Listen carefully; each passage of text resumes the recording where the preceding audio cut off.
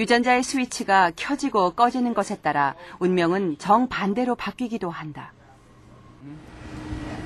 These two offspring are the same age and the same sex, and they're genetically identical. 분명 털 색깔도 다르고 크기도 달라 보이는데 두 마리 쥐가 일란성 쌍둥이라는 것이다.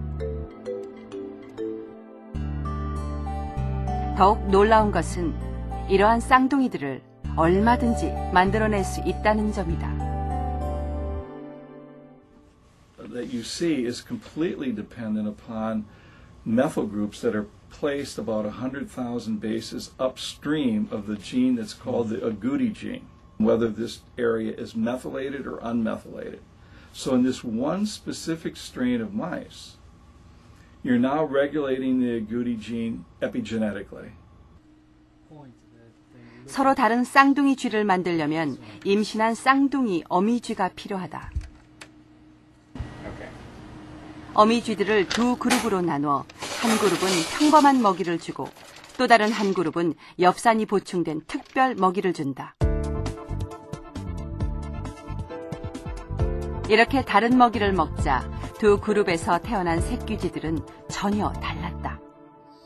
The yellow mouse, the mother's uh, was exposed to just ate normal chow, and the brown mouse, which is a genetically identical, the mother's diet was supplemented with methyl donors of like choline, folic acid.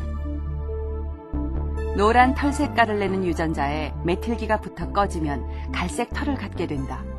먹는 먹이에 따라서 색 차이가 난다니 신기하다. And the reason why those animals now that are golden blonde ultimately become obese is because the agouti gene in this one unique strain of mice is inappropriately expressed in the satiation center of the brain. The animal never knows that it's actually full. So it eats itself into obesity, diabetes, and cancer. 혈색만이 아니라 식성에도 영향을 미쳐 결국 건강도 큰 차이가 나게 된다.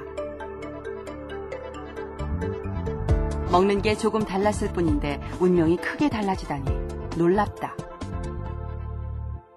And I want to make it very clear that all of our methyl groups that ultimately get put onto the DNA for marking it and programming for expression of genes, all those methyl groups come in from our diet.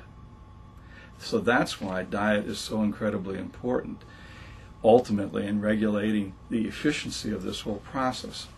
All these kinds of issues that are very, very um, emotional to people. The epigenome, on the other hand, gives people hope. You have, and there's no doubt, you have the potential ability to alter it.